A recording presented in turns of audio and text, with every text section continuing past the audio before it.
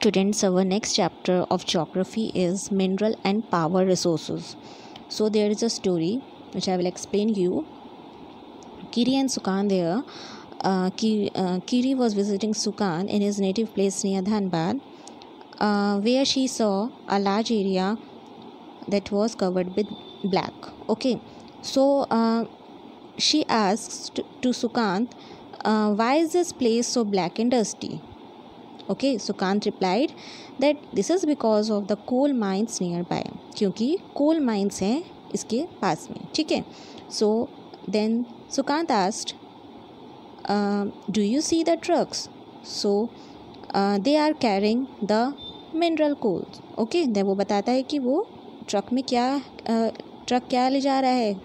Mineral कोल ले जा रहा है ओके सो शी आस्ट की asked what are minerals he replied have you ever see a baker while baking biscuits तो वो पूछता है कि तुमने कभी बेकर uh, को देखा है बिस्किट को बेक करते हुए? तो वो उसमें क्या क्या ऐड ऑन करते हैं? Flour milk sugar eggs okay अब जब तुम बिस्कुट लेती हो जब खाती हो तो क्या तुम्हें उसके इंग्रेडिएंट सेपरेटली दिखते हैं?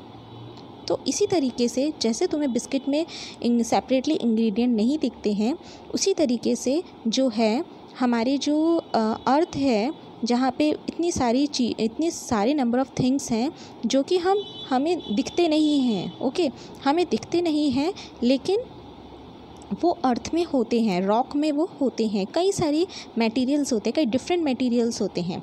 उन्हीं को हम मिनरल्स कहते हैं जो कि मिक्स्ड होते हैं ओके सो so, अब ये जो मिनरल्स हैं इनको हम अलग करते हैं ठीक है? और हम इसको कहाँ से अलग करते हैं? अर्थ के रॉक की क्रस्ट से हम इनको अलग करते हैं और निकालते हैं।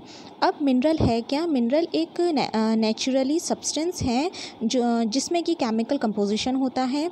मिनरल्स जो है, हम इसको डिस्ट्रीब्यूट जो है, वो डिस्ट्रीब्यूटेड नहीं होते। ये जो है पर्टिकुलरली कुछ एरिए में पाए जाते हैं, जहाँ पे रॉक फॉर्मेशंस होती हैं, या ये जो मिनरल्स होते हैं, ये पाए जाते हैं। आर्कटिक ओशियंस के पास में या अंटार्कटिका के एरिया में, ओके?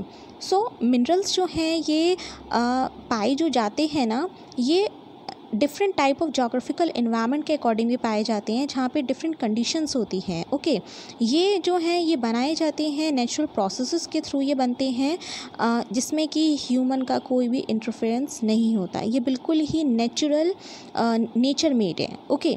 सो इस, इनको जो है, हम आइडेंटिफाई कर सकते हैं on the basis of the physical properties such as colour density hardness and chemical property such as solubility